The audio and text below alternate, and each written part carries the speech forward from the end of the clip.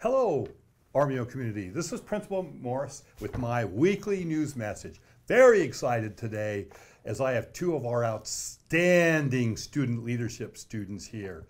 To my left, your right, is Marion Supapo. Did I say that right, Marion? Yeah. Awesome. She's a senior and she's our ASB president. To my right and your left is Josh Russet. Josh is a senior and he's our ASB treasurer, correct? I am so proud of these students and all they've been doing. Armijo is a very, very spirited community with a lot of great things happening.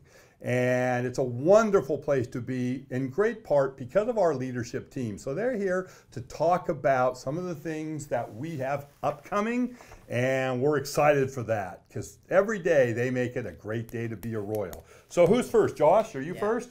Okay, So- go ahead and tell them. Coming up in on April 6th, we're gonna have our Bonda night from 5:30 to 8:30. It's been moved because of the weather that we've been having.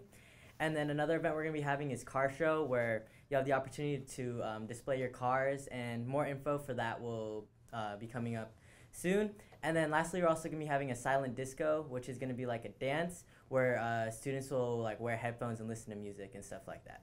More info to come on that too. Nice. And another event that we have is that's super cool is our Prom 2.0, which is an event that kind of services our special education classes not only here at Armijo but all around the district. So all the schools come to our gym and they have a dance for all the students. So that's really fun. Another event that's really big that's coming up is our Powder Puff game or our Powder Puff week, I guess, because we celebrate it all week.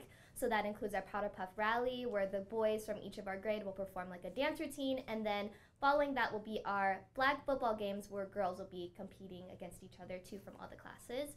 And then the last event that we have to talk about is BOA or Battle of Armijo, which is another one of our annual events that we have. And that's where students from all around the school can make teams and then they play a bunch of games and they go for the title of winning Battle of Armijo. So it should be really fun. Oh, kind of like a class Olympics. Yeah, That's sure. exciting. Thank you both so much for joining us. And folks, a lot of things here at Armijo High School that you can join in, be a part of. We're always doing things so you can make this the school that you want it to be. Thank you. Make it a great day to be a Royal.